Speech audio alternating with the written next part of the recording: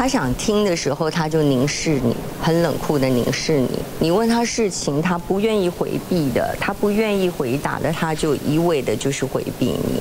然后你不知道他下一秒钟要做什么。一谈到郑杰，台北市议员应小薇直说他很可怕。辅导死刑犯二十年经验中，郑杰是他少数带警报器才敢辅导的死刑犯。就很坦然说他绝对不后悔，还跟我比了一个姿势说这个，变。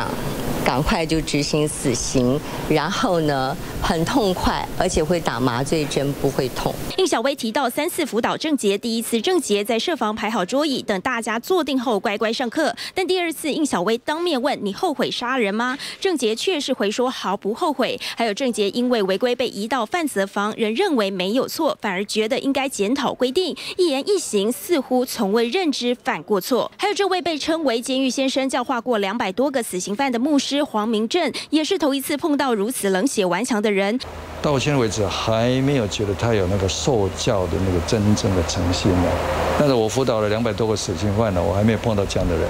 那我们想要关心他，跟他谈天堂，他的天堂我没有看到。